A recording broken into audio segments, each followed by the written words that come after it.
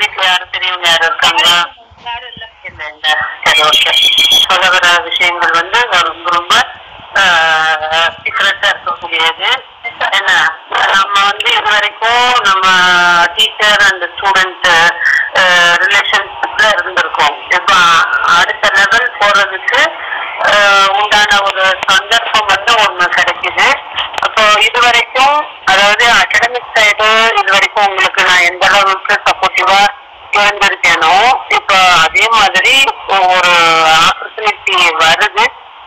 Opportunity வருதுன்னு சொல்றப்போ ஸ்பீக்கர்ல போடுறீங்களா எப்படி?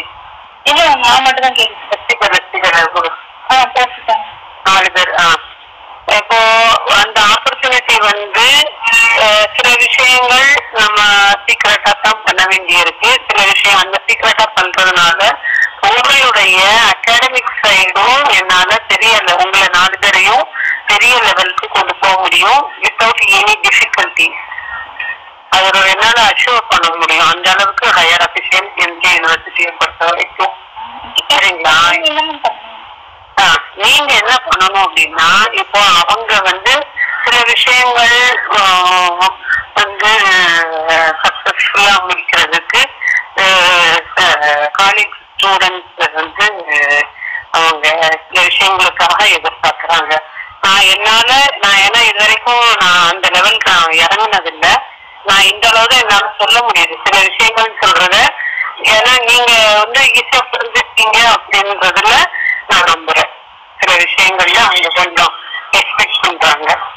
இப்போ நான் என்ன இப்போ வந்து இது வந்து கிட்டத்தட்ட ரொம்ப நாளா கேட்டுட்டு இருக்காங்க. நான் இதுக்கு முன்னாடி ஒரு தரம் பேப்பர் வேல்யூஷனுக்கு வந்தேன் பத்தியா? ஒரு திடீர்னு ஒரு ரெண்டு நாள் மூணு நாள் நான் ஓடியில நானும் நாராஜன் சாரும் ஓடியில வந்திருந்தோம்ல அந்த சந்தர்ப்பத்துல இருந்து என்கிட்ட ரெஃபர் பண்ணிட்டே இருக்காங்க. ஏன்னா நம்ம காலேஜுடைய சூழ்நிலை தெரியும் எனக்கு. ஏன்னா இப்போ இந்த விஷயம் வந்து வெளியே தெரிஞ்சதுன்னா கண்டிப்பா வந்து உங்க யார் இதுல இன்வால்வ் இருக்காங்களோ அவங்களுக்கு நெகட்டிவ் வர்றதுக்கு சந்தர்ப்பம் இருக்கு. பட் இப்போ எனக்கு இங்க வந்து எனக்கு அவங்க சில அசூரன்ஸ் கொடுத்துருக்காங்க. அதை பேஸ் பண்ணி உங்களை வந்து பெரிய லெவலுக்கு சொல்றேன் இப்போ எட்டு ஃபினிஷ் இப்போ இன்னைக்கு தேதி வந்து பதினஞ்சு.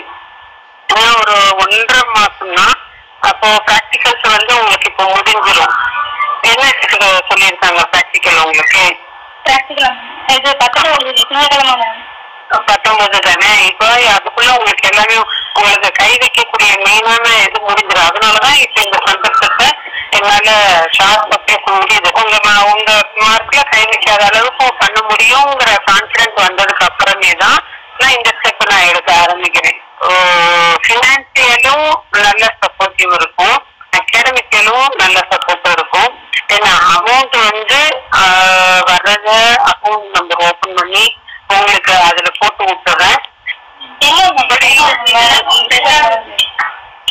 செட் ஆகாது மேம் இஷ்டம் தானே மேம் இருக்கு என்னடா சொல்றீங்க இஷ்டம் இல்லையா ரெண்டு நாள் கூட யோசிங்க நான் எனக்கு சண்டே எனக்கு சொல்லுங்க இன்னும் கொஞ்சம் யோசிங்க கவர்னர் வர்ற வீடியோலாம் அனுப்பியிருந்தீங்கல்ல அப்போ சில விஷயங்கள் ஏன் நடந்துச்சு அது நீங்க என்ன சொன்னீங்க ஃபுல்லா அதாவது ஒரு நடுவில் ஒரு ஸ்கிரீன் இல்லாம இருந்துச்சுன்னா கவர்னர் லெவல் கவர்னர் தாத்தா இல்ல.